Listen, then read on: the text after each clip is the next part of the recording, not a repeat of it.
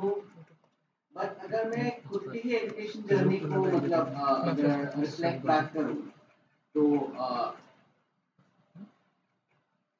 नौकरी वाला चीज़ तो हाँ दिखता है ठीक है।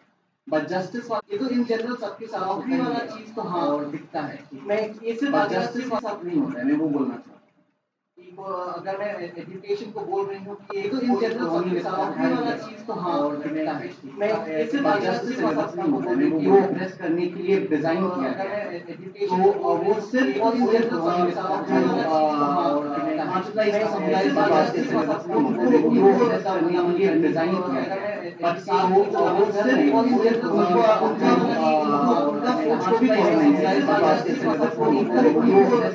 के डिज़ाइन किया